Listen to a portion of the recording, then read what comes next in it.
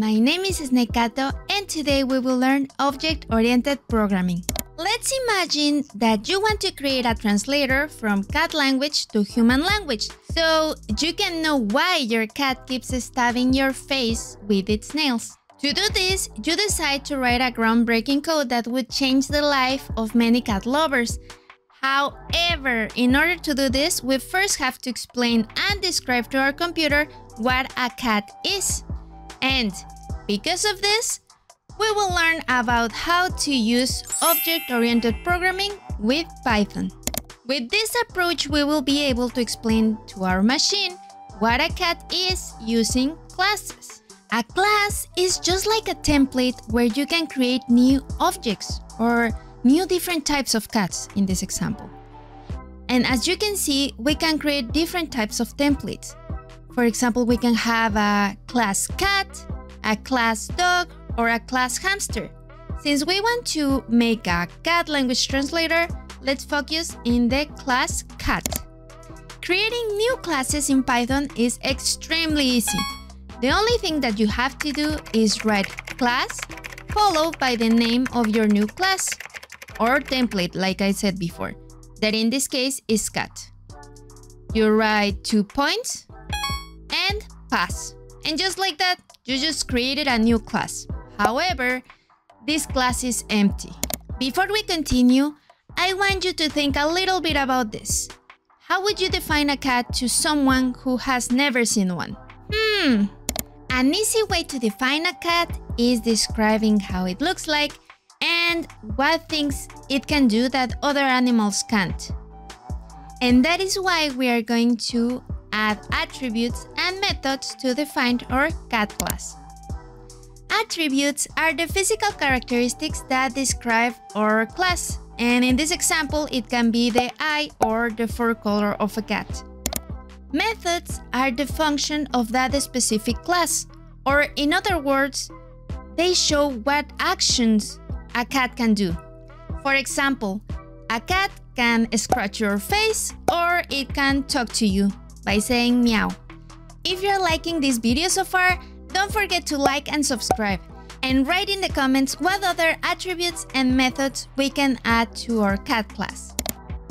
And now, let's continue learning. Do you remember that our class was completely empty? Well, let's start by defining some attributes. Now, instead of leaving our class empty, we are going to add two attributes, eye and for color, followed by empty strings. Because remember that this is just a template. We are going to work on objects in a moment. And now let's continue with some real life examples.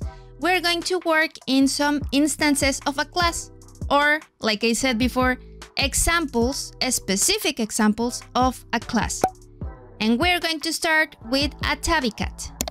To start, we are going to use our cat class and assign it to a tabby variable. And to make our tabby unique and special, we are going to set the eye color and fur color so we can know that it's different from other cats. And to do this, you have to use dot notation. For example, tabby.eyeColor and you assign yellow as a string. Also, you can uh, put the fur color, for example, tabby.fur color as brown. And to make sure that we set up the class correctly, we can do a print statement like this one. That will show us that tabby cats have yellow eyes and brown fur. Let's try with a new example. This time we are going to work in a British short-hair cat. So again, in order to do this, we set up a cat class inside our variable called British. And then we set the defining characteristics of a British short-hair cat to differentiate it from other types of cats. And in this case, we are gonna set the eye color as yellow and the fur color as gray. As we did before, we check with a print statement if everything is working correctly. And if it does, it will show us that British short-haired cats have yellow eyes and gray fur. And now it's your turn. You have to create a new instance of the class cat using this orange kitten. Don't forget to share your code in the comment section so I can see it and check what cool ideas you have. Thank you so much for watching this video. And let me know if you would like me to make a new video focusing on methods for object-oriented programming. See you in the next one!